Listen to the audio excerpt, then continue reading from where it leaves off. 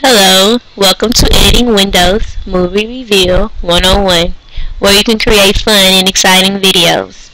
Muvee Reveal is great because it can be found on almost all Windows 7 computers.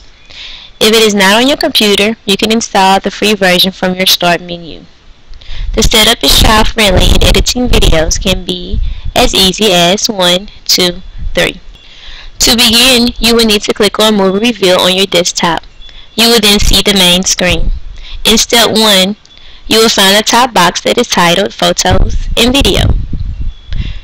Click Add and import your video either from your computer, camera, or camcorder. The video will then appear in the top box.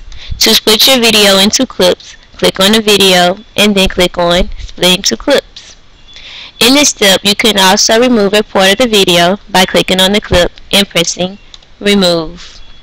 You can also rearrange videos by clicking on the clips and rearranging them to their new spots. Step 2 is where the fun begins. It is now time to choose your style and music for your video. Directly below the photos and video box, you will see the style and music boxes. Look in the style box and you will see that there are styles that you can choose from to add to your video. Before you pick one, you can preview each style by clicking on each style. To add music, click Add under the music box and choose the song that best fits your video. In step 3, you can now personalize your video. You may add captions by clicking on the clip and then clicking on Captions. You will then write your captions in a box that says Enter Caption here and then press OK. If you would like to add narration to your video, click on Personalize and then VoiceOver.